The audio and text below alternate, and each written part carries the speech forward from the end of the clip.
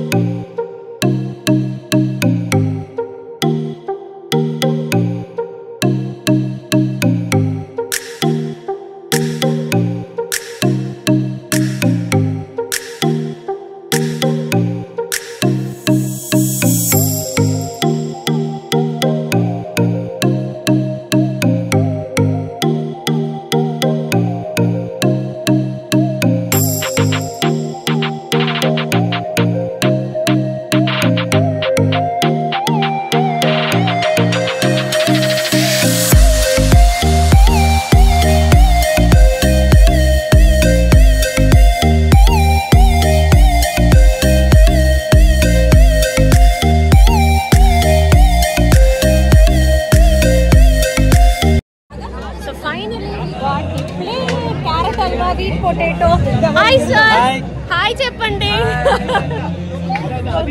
Carrot halwa பிடிக்காது ஆமா. எனக்கு தெரிஞ்சு நம்ம எக்ஸ்ட்ரா வாங்குறது கூட தப்பு கிடையாது ஏன்னா திரும்பி வர முடியாது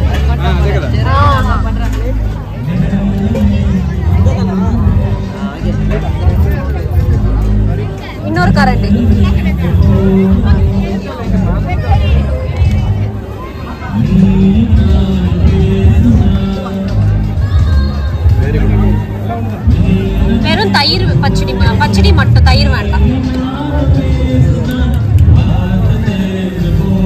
இது என்ன சன்னாவா? வேண்டாம்ப்பா.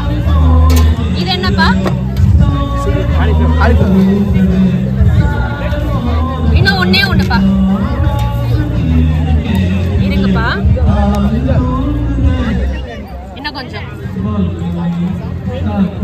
தேங்க்யூ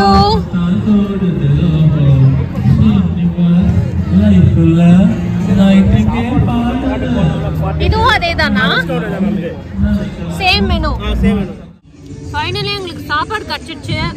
எப்படி ஃபீல் பண்றீங்க? ஏமா சூப்பர் பட் ஸ்டில் வந்து மெனு ரொம்ப கம்மியா இருக்கு. அதான் ஃபீலிங் அதான் பிரச்சனை.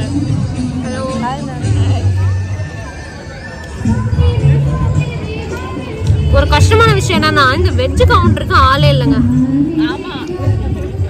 அங்க ஏய் ரசம் சாதம் இருக்கா? நான் இல்லைன்னு நினைச்சுக்கிட்டேன்.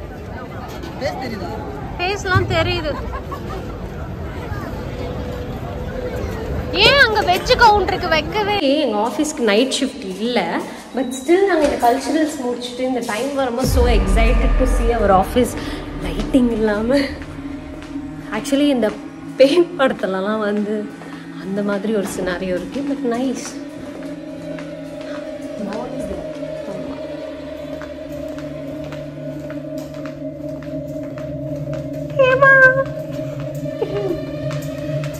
ஏய் யாருமே இல்லை லிட்ரலா இங்கே தானே பேக் வச்சோம்.